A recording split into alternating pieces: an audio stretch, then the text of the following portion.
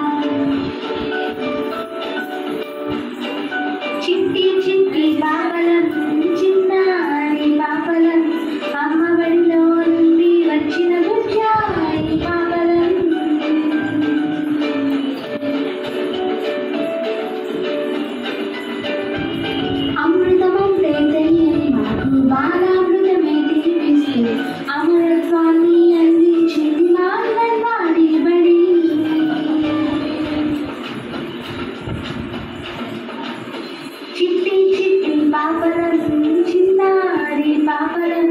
అమ్మఒడిలో వచ్చిన బుజ్జాయి పాపలం